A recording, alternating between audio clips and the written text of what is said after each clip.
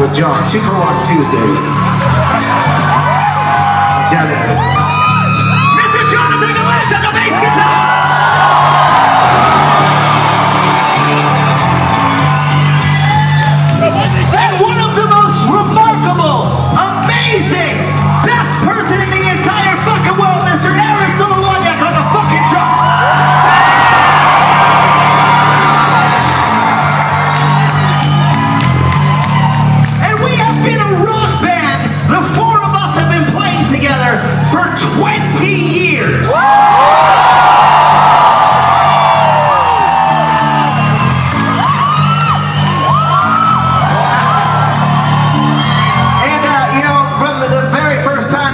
We came to Montreal back, like I said, about 15 years ago, it was an amazing experience. And we've had so many amazing memories, and every single time that we come here, uh, you know, we've we've come with bands.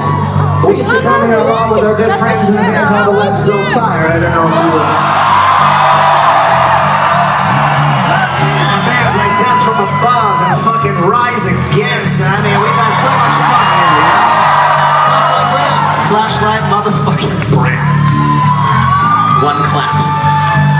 One clap. we just want to say from the very